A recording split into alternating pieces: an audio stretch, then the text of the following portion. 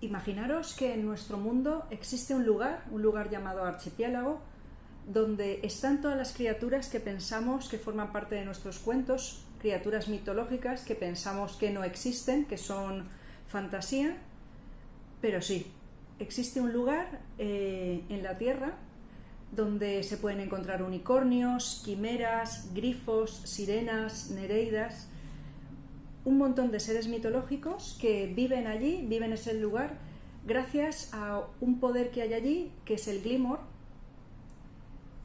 Y además existen, en ese lugar también hay una comunidad, hay comunidades de humanos que conviven con ellos, pero casi todo el mundo desconoce ese lugar. Pues eso es lo que ocurre en esta maravillosa novela juvenil de fantasía, Criaturas Imposibles, de Catherine Rundell. Perdón. La verdad es que me he emocionado muchísimo leyéndola. Es una novela fantasiosa impresionante, como os digo, es una lectura juvenil. Yo creo que a partir de 8 o 9 años perfectamente se puede, se puede leer.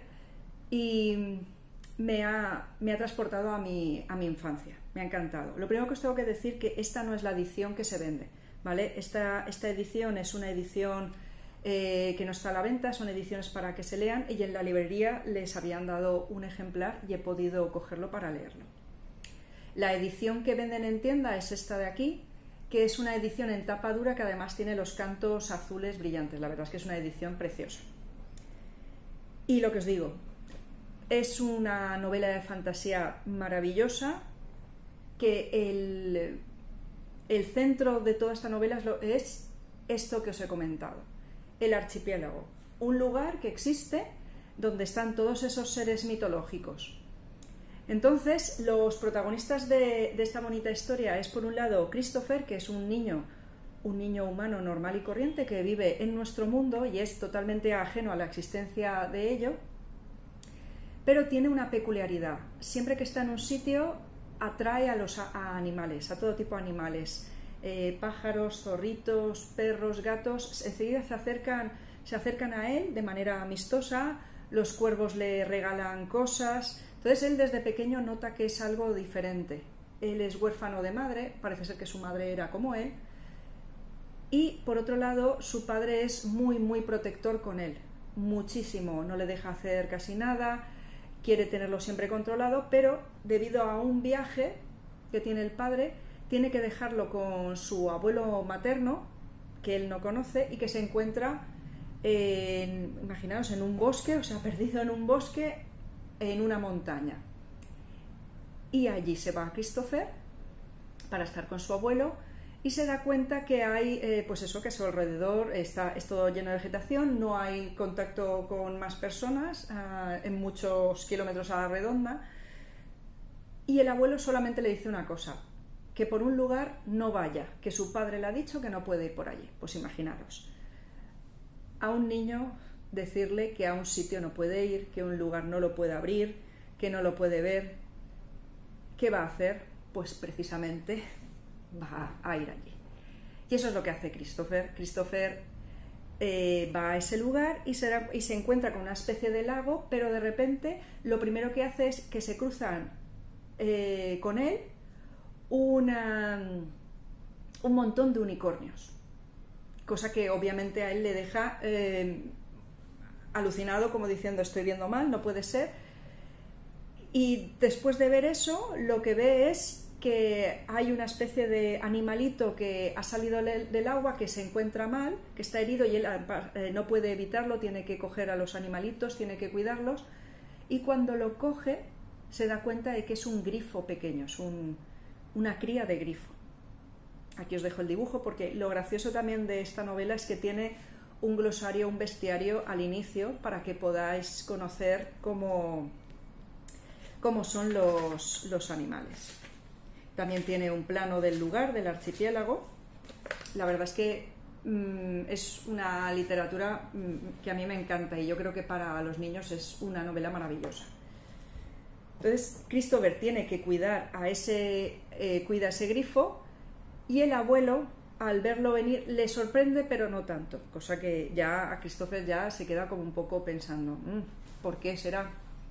Y entonces el abuelo le cuenta que él es el guardián de la puerta de acceso de su mundo, o sea, de la Tierra a el archipiélago, que llevan años, su madre debería haberlo sido, pero como su madre falleció antes de tiempo, el siguiente guardián va a ser él, Christopher.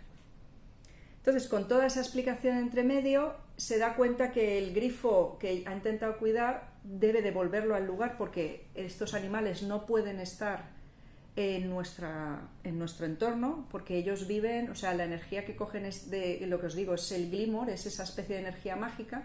Entonces, tiene que eh, devolverlo a su sitio. Entonces, acude otra vez a ese lago y que se encuentra a una niña que se llama Mal y que también es muy, muy especial. Es una niña, es una humana que vive en el, eh, en el archipiélago y que de pequeña, cuando ella nació, quien le puso el nombre le regaló un abrigo con el que puede ella volar. Entonces es una niña muy especial que puede volar y el hecho es que ella había tenido que huir del archipiélago con el grifo, que es como si fuera su mascota, un pequeño grifo, porque la estaban intentando asesinar y no sabía muy bien por qué. Esto que os cuento es el inicio de la historia. Es como si Christopher y Mal se conocen y Mal le pilla ayuda a Christopher y le dice que por favor necesita que vaya con ella al archipiélago para ayudarla porque le pasa algo a su tierra, al archipiélago, porque está empezando a ver que hay seres mm, como unicornios, grifos, hidras, un montón de seres que están empezando a morirse, la tierra está empezando a cambiar y pasa algo, parece ser que pasa algo con esa energía que tiene en ese lugar. Entonces, Christopher al final no se lo piensa dos veces porque está deseoso de poder ver más. O sea, tiene un grifo que para él es un ser maravilloso, ha podido cruzarse con un unicornio, encuentra a una niña muy especial y sin pensárselo dos veces se va a ayudarla. Y así es el inicio de la historia, de esta historia de criaturas imposibles, donde Christopher empieza a ver todo ese maravilloso lugar, todo lo que ocurre y todos los entresijos del por qué quieren asesinar a Mal empieza a conocer a más gente, eh, conocen a lo que parece un pirata, que es un berserker. ¿Y qué es un berserker? Pues un berserker era el protector del inmortal. Entonces, en, en las leyendas y en la historia del archipiélago existía un ser que lo denominaban el inmortal, que es quien controlaba el glimor, esa fuerza, y quien había creado una especie de espacio donde el glimor estaba en un, en un árbol más o menos esto es así, pero el inmortal, después de el inmortal va pasando su alma de una a otro, de un ser a otro, puede ser, mm, vamos, planta, animal, humano, va pasando uno a otros, pero no pierde su memoria.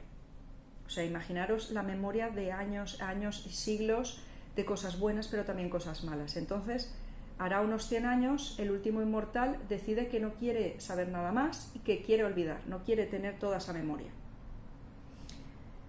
Entonces se toma una pócima para perder la memoria y desde ese momento cuando este inmortal desaparece ya no se vuelve a saber dónde está el inmortal. Entonces, por un lado corre esa historia y por otro lado está empezando a ocurrir eso de los, del glimor. Y se va viendo qué tienen que hacer para intentar ir informando a la gente de lo que ocurre y cómo pueden solucionarlo. Y en su viaje, en este maravilloso viaje que empiezan Mal y Christopher, se encuentran con el Berserker y también con Irian, que es una bióloga marina que también se ha dado cuenta de lo que está ocurriendo, porque se ha dedicado a estudiar animales y se está dando cuenta que están eh, muriendo animales. Y eso es un poco el inicio, no os quiero contar más. Ya, a mí me encantaría que mucha gente se leyera esta historia. Me, me ha parecido muy fantasiosa, como os digo, me ha recordado a mi infancia. Podía ser una mezcla entre la, historia interminable, Harry Potter, Percy Jackson, eh, todas las historias mitológicas. A mí de pequeña me encantaba leer sobre mitología, de los seres mitológicos. Es una mezcla maravillosa.